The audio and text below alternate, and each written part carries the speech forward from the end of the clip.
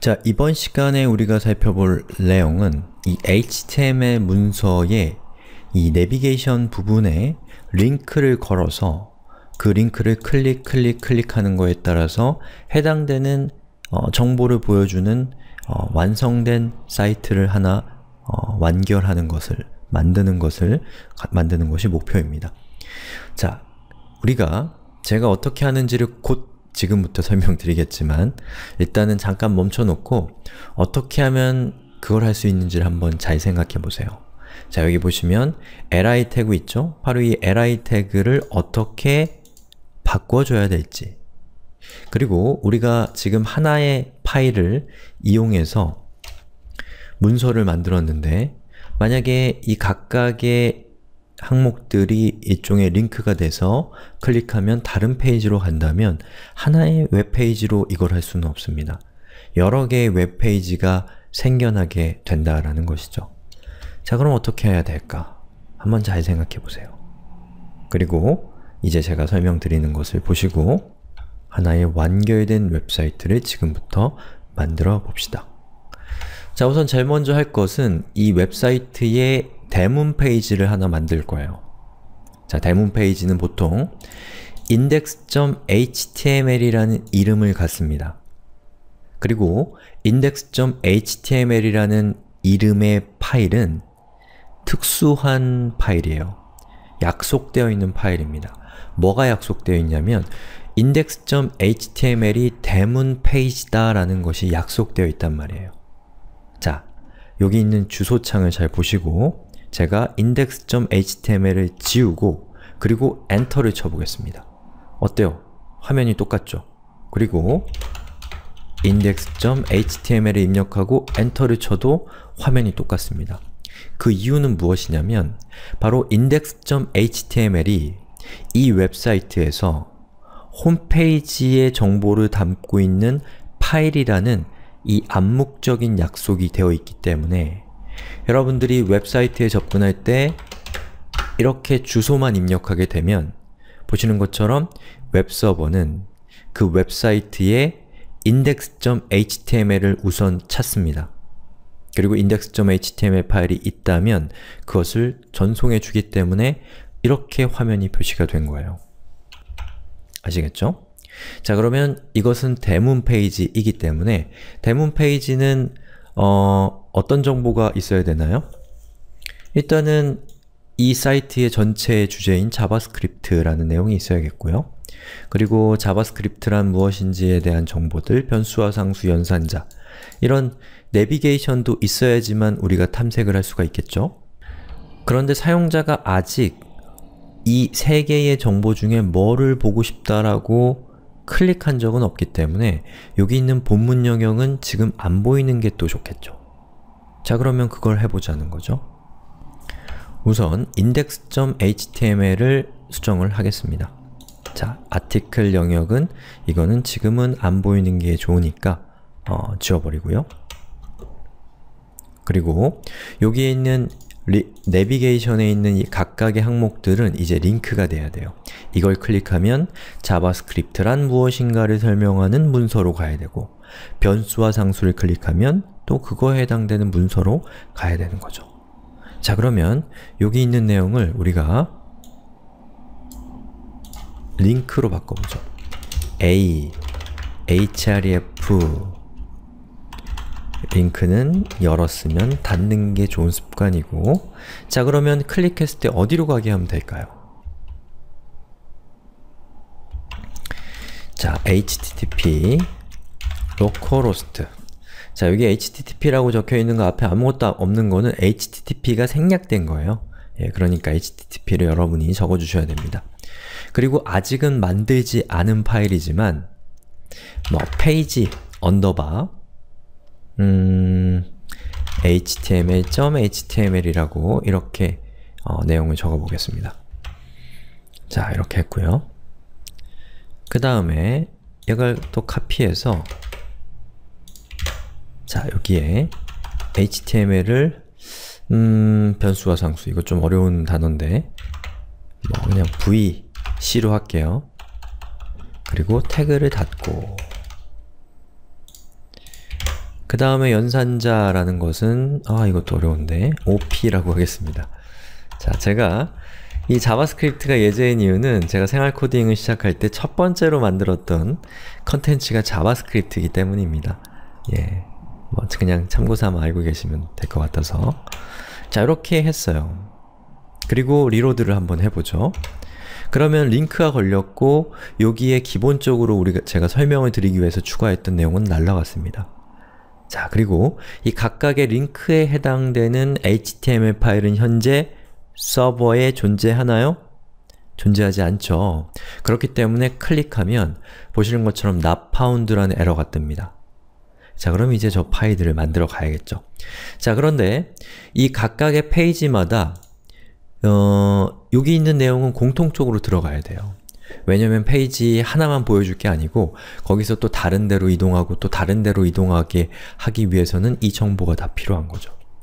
자 그렇다면 이것은 파일을 document root에 저장을 하는데 자 ht, htdoc 디렉토리에 저장을 하는데 파일의 이름은 지금 뭐예요? page underbar html이잖아요? Page underbar html.html 이라고 하고 저장 자 그리고 reload를 해보면 보시는 것처럼 화면이 출력이 됩니다. 근데 우리가 필요한 정보인 자바스크립트가 무엇인지에 대한 내용은 나와 있지 않은 상태죠. 자 그렇다면 article 이렇게 해서 본문을 표현해주고 그리고 제목은 h1이니까, h2니까 자바스크립트란 h2로 하고 자바스크립트는 어, 웹페이지를 프로그래밍적으로 제어하는 언어입니다 라고 이렇게 적어주고 reload 그러면 이렇게 잘 표시가 되죠. 자, 그 다음에 변수와 상수를 이제 클릭해보면 역시나 우리는 page underbar vc.html 파일을 만들지 않았기 때문에 에러가 뜨는 거죠. 자, 그러면 이제 이 내용을 그대로 카피해서 다른 이름으로 저장을 합니다. 자, vc라고 저장을 하고 여기에다가 내용을 바꾸면 되겠죠. 어떻게 바꾸면 되겠어요? 어, 변수와 상수 라고 적고 내용은 변수는 바뀔 수 있는 값이고 어, 상수는 바뀌지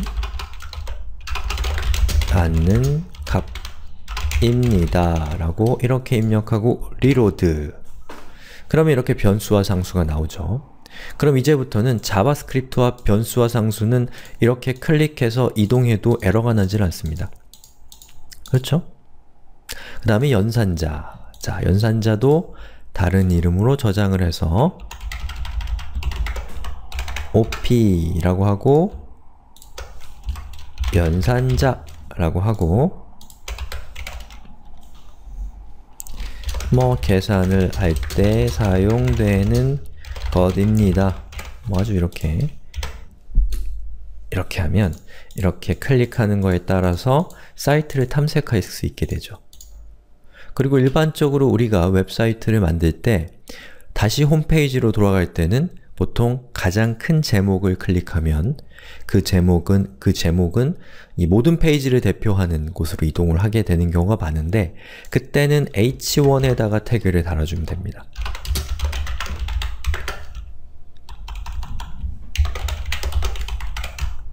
이렇게 하고요.